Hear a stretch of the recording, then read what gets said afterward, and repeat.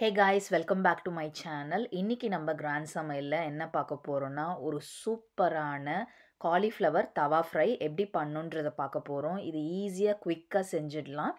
இது ரசம் சாதம் சாம்பார் சாதம் தயிர் சாதத்துக்கெலாம் ரொம்ப சூப்பராக இருக்கும்.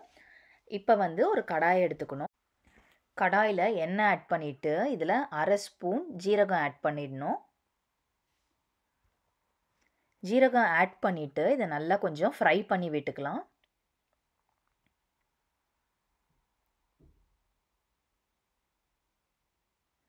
இப்போ வந்து ஜீரகம் நல்லா ஃப்ரை ஆகிட்ட உடனே ஒரு முழு சைஸ் வந்து ஆனியனை வெங்காயத்தை நல்லா சின்ன சின்னதாக கட் பண்ணிவிட்டு இதில் ஆட் பண்ணிவிட்டு நல்லா வதக்கி விடணும்.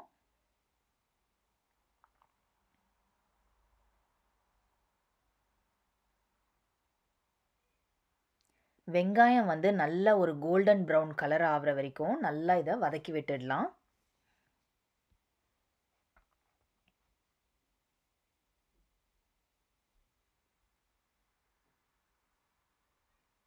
இப்போ பார்த்தீங்கன்னா நான் பண்ணுற இந்த தவா ஃப்ரை வந்து ஒரு கேஸ்ட் அயன் ஸ்கில்லட்டில் பண்ணுறோம் ஸோ வந்து கேஸ்ட் அயனில் எது பண்ணாலும் ரொம்ப சூப்பராக இருக்கும்.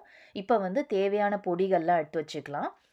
மிளகாய் தூள் மஞ்சள் தூள் கரம் மசாலா இதெல்லாம் வந்து நம்ம எடுத்து வச்சுக்கலாம். இப்போ மஞ்சள் தூள் அரை ஸ்பூன் ஆட் பண்ணிக்கலாம்.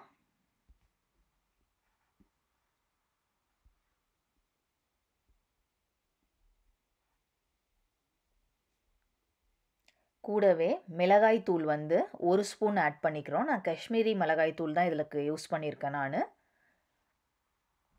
கரம் மசாலா வந்து ஒரு கால் ஸ்பூன் ஆட் பண்ணிக்கலாம்.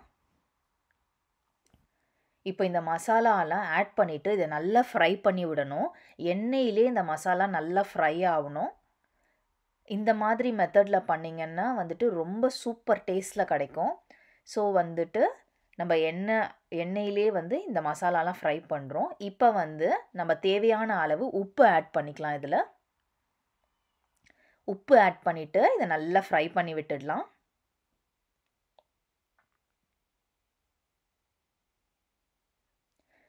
இப்போ வந்துட்டு ஒரு பெரிய காலிஃப்ளவரை நல்லா கட் பண்ணிவிட்டு சின்ன சின்ன பீசஸாக கட் பண்ணிவிட்டு ஒரு பதினஞ்சு நிமிஷத்துக்கு சுடு தண்ணியில் கால் ஸ்பூன் மஞ்சள் தூள் ஆட் பண்ணிவிட்டு ஊற வச்சுருக்கோம். ஸோ அதில் எதனா பூச்சி இருந்தால் கூட வெளியில் வந்துடும் அப்புறம் தண்ணியை வெடிச்சிட்டு அந்த காலிஃப்ளவர்லாம் இப்போ இந்த மசாலாவில் ஆட் பண்ணிவிட்டு நல்லா வந்துட்டு ஃப்ரை பண்ண போகிறோம்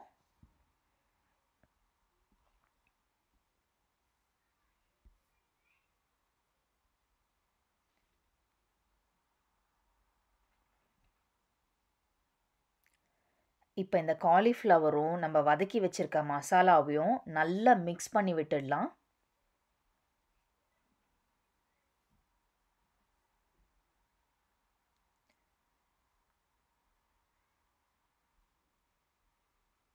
இப்போ பார்த்திங்கன்னா இந்த மசாலாலாம் ஒன்றோட ஒன்று ஒட்டி நல்லா மிக்ஸ் ஆகிருக்கு இப்போ வந்து என்ன பண்ணணும்னா ஒரு மூடி போட்டு மூடி வச்சிடணும்.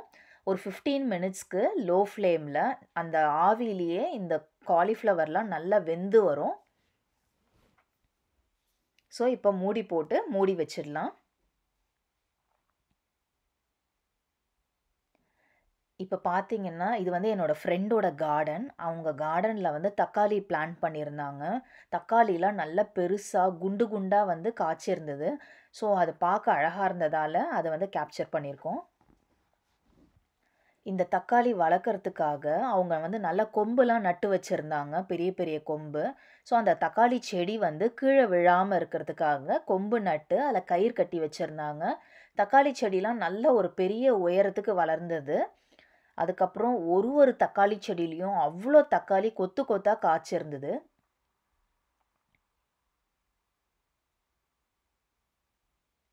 ஒரு சின்ன இடத்துல தான் இந்த தக்காளி செடியை வளர்த்துருந்தாங்க.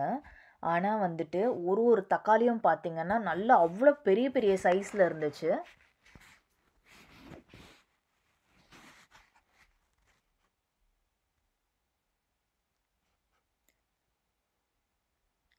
பார்க்க வந்து ரொம்ப சூப்பராக இருந்தது இந்த தக்காளி செடி. ஸோ நம்ம வந்து இந்த ஆர்கானிக் தக்காளி செடியில் இருக்கிற தக்காளியை எடுத்து நம்ம தக்காளி தொக்கு தக்காளி ஊறுகாய் அந்த மாதிரி நம்மளுக்கு தேவையானது என்ன வேணால் பண்ணிக்கலாம். ஸோ ஒரு சின்ன இடத்துல எவ்வளோ ஆர்கனைஸ்டாக அழகாக பண்ணியிருக்காங்க பாருங்கள்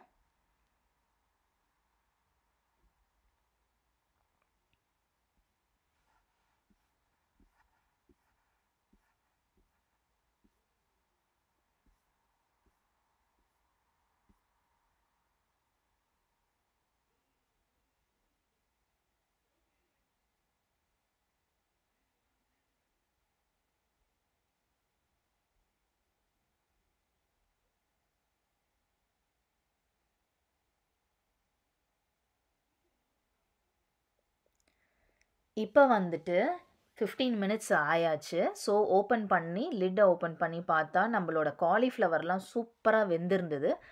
அதுக்கப்புறம் நம்ம லிட்டை ஓப்பன் பண்ணிவிட்டு நல்லா வந்து மிக்ஸ் பண்ணி விடணும். ஒரு ஃபைவ் மினிட்ஸ்க்கு வந்துட்டு நம்ம லிட்டு போடாமையே வந்து நல்லா கலரி விடணும். அதுக்கப்புறம் வந்துட்டு இப்போ வந்து நல்லா கொத்தமல்லியை வந்து சின்ன சின்னதாக கட் பண்ணி வச்சுருக்கோம். அதை இதில் ஆட் பண்ணிவிட்டு நல்லா கலரி விடணும். கொத்தமல்லி ஆட் பண்ணிவிட்டு கலரி விட்ட உடனே நம்ம சூப்பரான தவா ஃப்ரைடு காலிஃப்ளவர் ரெடி ஆயிடுச்சு. இதை வந்துட்டு ரசம் சாதத்துக்கு வச்சு சாப்பிட்டிங்கன்னா அவ்வளோ சூப்பராக இருக்கும். தயிர் சாதத்துக்கும் செம்மையாக இருக்கும். நீங்களும் உங்கள் வீட்டில் கண்டிப்பாக ட்ரை பண்ணி பாருங்கள்